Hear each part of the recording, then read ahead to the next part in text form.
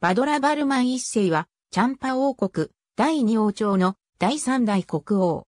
新女、宗女、大越式前書では、反古通領書、南史では、反巣脱、太平五蘭が引く、林勇気と、進む義広式居中では、反名達と記される。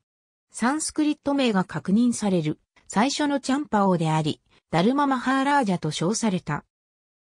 反仏の子、戦王の死後に即位した。382年3月に、進むに検視した。戦王の代に被害を受けたカンダプルプラに代わって、シンハプラをととし、クルンを整備した。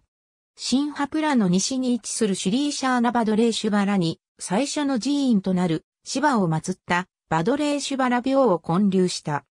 シュリーシャーナバドレーシュバラの碑文によると、その支配域は、現在のトゥーボン川盆地から南部のダーラン川川口にかけて広がっていたとされ、芝の他にもアグニやプリティビーが崇拝されていたとされる。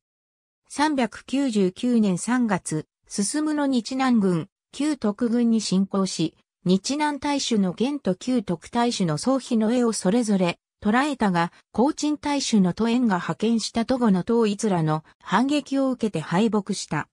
405年と407年にも相次いで日南軍に侵攻したが、都園が派遣した海ら徳森の下に明に敗れた。